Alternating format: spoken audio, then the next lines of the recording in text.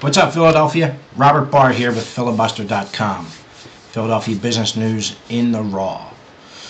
And on the topic of Philadelphia business news, I read yesterday that the Philadelphia Inquirer is obviously in financial trouble, along with the rest of, I guess, print media. Um, you know, thank God for Slim uh, dumping 250 million into the New York Times, or they'd be in the same boat. But saw yesterday that I saw yesterday that the Philadelphia Inquirer uh, is seeking a $10 million uh, loan from the state of Pennsylvania.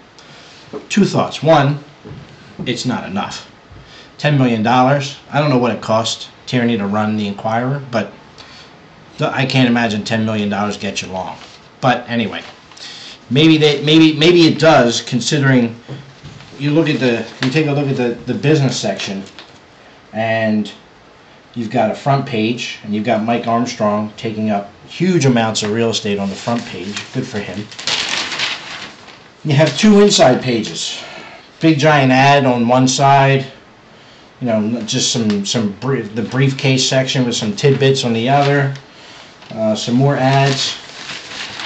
Then you turn the page and you get stock prices and some dividends and some earnings announcements. And then that last page, you get a big giant ad for the Philadelphia Car Show this weekend. Um, and then that's it, classified section.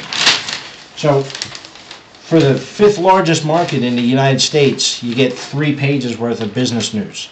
But maybe I maybe maybe I picked up the one slow business news day.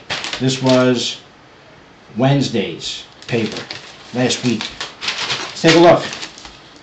Here's Thursday. Oh, look at that. Big giant ad for Citizens Bank on the bottom. Another huge swath of space taken up for Mike Armstrong's uh, column.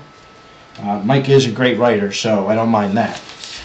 But once again, big giant picture on the front page to take up some more column inches. Turn the page. Look at that. Three pages. Once again, another briefcase section. Um, big giant picture here of the new of the new Alter Hall at Temple University. Uh, that takes up a lot of column inches. But that was a great article by Joe DiStefano. Uh, once again, some earnings and some stock prices. And then a big giant ad on the fourth page for a more perfect union. Um, an ad by Philly.com forward slash store. So there you have it. Not much business news in the paper. But let's see what our $10 million gets us. Now we're all going to have a little piece of the paper. So I'm going to have to have a say in what goes in the business section. Hope you